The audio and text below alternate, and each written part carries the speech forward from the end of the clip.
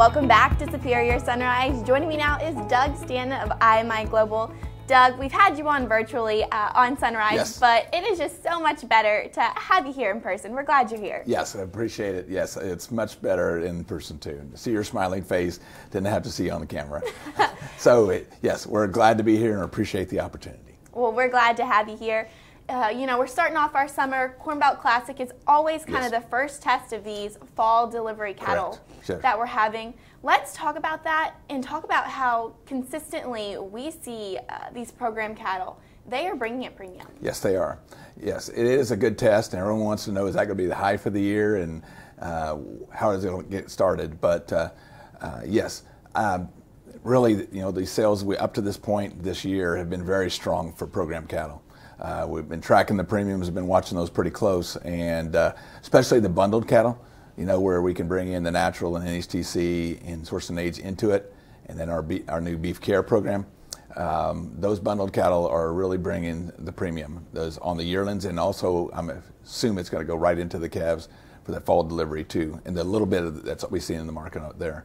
And I think that's what the buyers are really looking for. Kennedy is they're looking for an animal that has is can go to multiple programs because you know they're buying this animal this time of year for delivery in the fall, mm-hmm. and so it's not going to go to their contracts with the Packers till next summer. Right. And it's a long ways down the road, and they need those flexibility with those cattle to go into different programs because they don't know where it's going to go yet, and they have commitments, slots, and contracts with Packers for different types of cattle. So they need that animal to be bundled multiple ways with all the claims, so they have that flexibility. And you spoke on it in y'all's new beef care program. Yes, ma'am. That can be bundled with uh, everything else y'all Right. have. But give us an update on it. Yeah, some beef care. Uh, you know, we talked about it a little bit. Uh, uh, Bell Ringer, we knocked, you know, got started on it, and that was our launch. And then we talked about it on our virtual one a little bit. We visited about uh, the update. You know, with we have a retailer that's going to come online.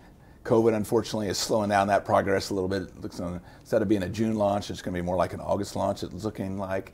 And uh, then the exciting thing for us has been uh, just last week we uh, signed a contract uh, for with uh, a large natural um, beef brand that is going to uh, utilize care, and so we're excited about that. We are excited, and Doug, I'm sure there's going to be people uh, today seeing these uh, cattle bring these these program cattle bring these premiums. It's easy for them to get on y'all's programs, easy to bundle. They can always go to IMI Global, give y'all a call, give their reps a call to get Ye- more information. Yes, ma'am. And the, the reps know us and how to get to hold of us. And we've seen more and more of the reps, new reps, bringing people into that that maybe have not done it before Mm-hmm. because the premiums everybody can see it and those there and Well, appreciate the opportunity. Well, Doug, we appreciate you being here. We're excited to kick off our summer, and we can't wait to see you the rest of the summer. Don't go anywhere. Up next is Doug Slattery of 44 Farms.